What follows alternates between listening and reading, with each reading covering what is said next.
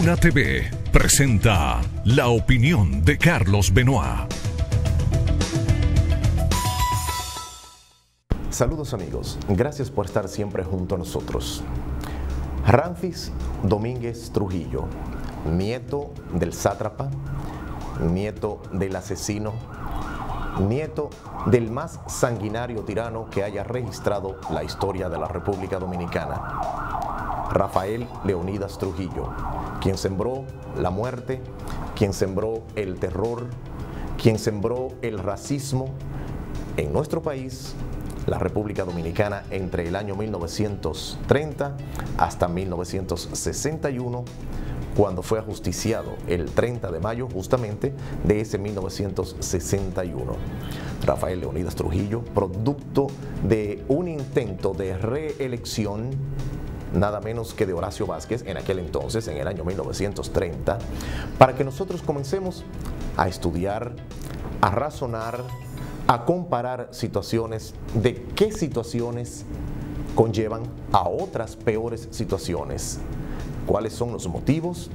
cuáles son las causas que han traído la desgracia a la República Dominicana. Entonces, si observamos,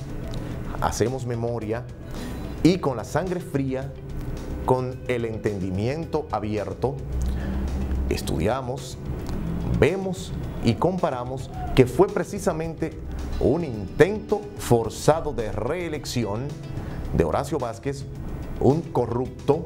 un corrupto de su época, en la época posterior a la primera intervención de los Estados Unidos en nuestro país, la primera registrada porque hubo otra que no se notó tanto y que no se menciona tanto, pero la famosa intervención que nosotros sufrimos entre 1916 hasta 1924 fue el producto de instaurar un régimen despótico, un régimen corrupto, un régimen ladrón, como lo fue el de Horacio Vázquez, que lamentablemente tiene que ser comparado, guardando las distancias por la época o las distintas épocas, con el régimen actual que impera en la República Dominicana, matizado por constantes escándalos de corrupción, constante elevación de la deuda tanto interna como interna y conlleva este tipo de régimen corrupto, tan corrupto como el actual, como el régimen que ha llevado prácticamente al 54% el compromiso del Producto Interno Bruto son los datos que han aflorado de acuerdo a informes publicados en base a los datos oficiales de los mecanismos de finanzas, los mecanismos económicos de la República Dominicana, incluyendo las cifras estadísticas del Banco Central, la deuda de nuestro país está rondando a un compromiso de 54% del Producto Interno Bruto, lo cual quiere decir que la deuda de nuestro país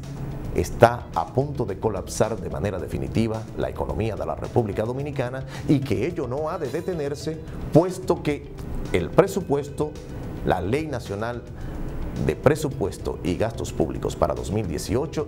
ya inicia como deficitaria, lo cual quiere decir que este gobierno del Partido de la Liberación Dominicana va a seguir endeudando y endeudando y endeudando el país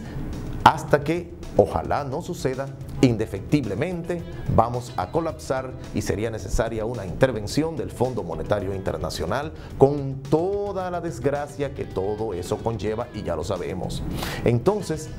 al tener lamentablemente una oposición absolutamente disgregada, una oposición que no logra ponerse de acuerdo por intereses personales de aquellos líderes que quieren erigirse como líderes sin ser su momento, entonces situaciones como esta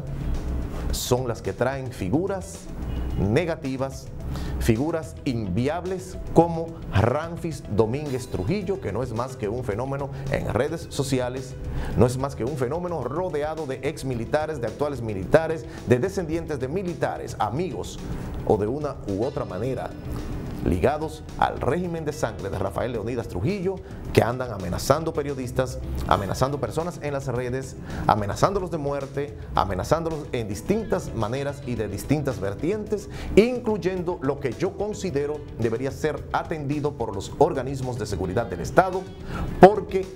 atentar contra los ciudadanos, atentar contra un presidente con el tipo de comentarios que los seguidores de Ramfis Domínguez Trujillo están haciendo, es atentar contra la seguridad de la nación y sembrar el racismo sin que nadie se dé por enterado. Entonces, una oposición que no está haciendo lo que el pueblo espera como oposición y también el propio gobierno de Danilo Medina por la corrupción indetenible son los culpables de que en las redes esté pegado como una moda el nombre fatídico de Ramfis Domínguez Trujillo que no pasa de ser otro can en los medios de la internet y algunos medios de comunicación que le están haciendo el juego. Mediten sobre ello. Que Dios les acompañe donde quiera que estén o donde vayan. Amigos y amigas, hasta siempre. Luna TV presentó la opinión de Carlos Benoit. Hasta la próxima.